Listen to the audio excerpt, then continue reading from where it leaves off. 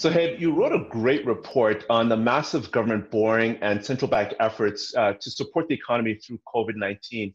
Now, before we get to the risks and benefits of debt monetization, can you help us explain what is debt monetization? Sure. Uh, debt monetization is an ambiguous concept. Uh, simply put, debt monetization is a permanent increase in the monetary base with the intention of funding the government.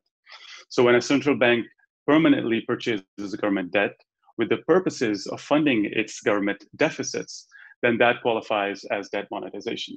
We can also think about debt monetization by ruling out what it is not. So it is not a simple open market operation that central banks conduct all the time to meet the targets.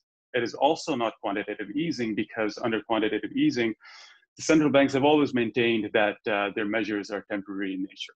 And finally, it is also not helicopter money, a term that we often hear because under helicopter money, the increase in government indebtedness can be written off by the central bank, which does not happen under debt monetization.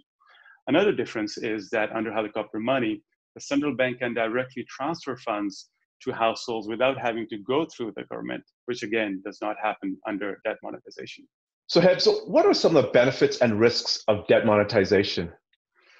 Needless to say, monetization has its benefits under the right circumstances and right conditions. It may particularly be useful in a recession when demand is weak or when deflation is a risk. But it is a risky endeavor for monetization to work properly, it needs an operational framework and a legal framework along with central bank independence. If such frameworks are not there, then there is a risk of central bank's objectives moving away from targeting inflation to funding the government.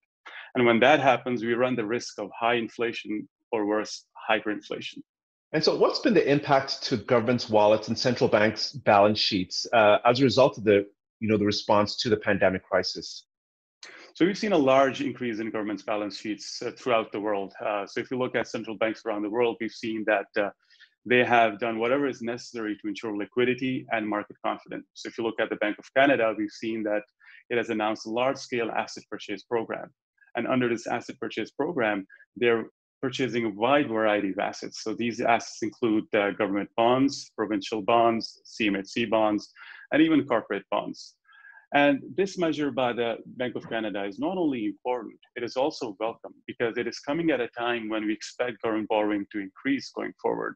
So it'll make it easier for the government to borrow as uh, we see, as we expect it to in the coming months. Now, if you look at the Fed, we see that the Fed has promised to do unlimited quantitative easing and is also purchasing a wide range of assets. Now, if you look at Europe, we see that the European Central Bank has also pulled out all the stops it has increased the assets it's purchasing under its existing asset purchase program and has also started a new pandemic emergency purchase program. It has also announced to include Greek government debt in the portfolio of bonds it purchases as part of its quantitative easing. And most importantly, it has also removed the cap on how many government bonds it can borrow, it can purchase from each Eurozone economy. And what about emerging markets? Certainly, they've been impacted by COVID as well. Uh, what's the impact there? Well, emerging markets are not too far behind. So if you look at central banks in the Philippines, South Africa, and Colombia, they're all doing quantitative easing. Some emerging market central banks have gone a step further. So if you look at the central banks of Brazil and uh, Indonesia, they have directly started to purchase government debt. While quantitative easing measures in emerging markets have helped in easing uh, financial conditions, they also carry the risk of unanchored currency weakness. And so, what are the long-term implications, uh, you know, for Canada's huge deficit? What does this mean for future generations? Well, there's no doubt, uh, no doubt that this is a major shock for Canada's fiscal coffers. This fiscal, this uh, this pandemic has led to a major increase in Canada's fiscal deficits. And the question we need to ask ourselves is will the government be able to maintain the quality of life of future generations as it tries to pay for its debt? The answer depends on the ability of the government to service its debt. So, what we need to really look at is how how will this purchase how will this debt servicing take place i mean the good news is that interest rates are low so that helps on the other hand, if growth stays low for too long, or if the bounce back from this crisis is weaker than we expect, then debt servicing may become difficult. It all depends on how quickly the country recovers from its economic wounds. The longer it takes, the lower growth will be and the more difficult it will be to service the debt. What the government can do is to increase taxes going forward to make up for the lost revenue today.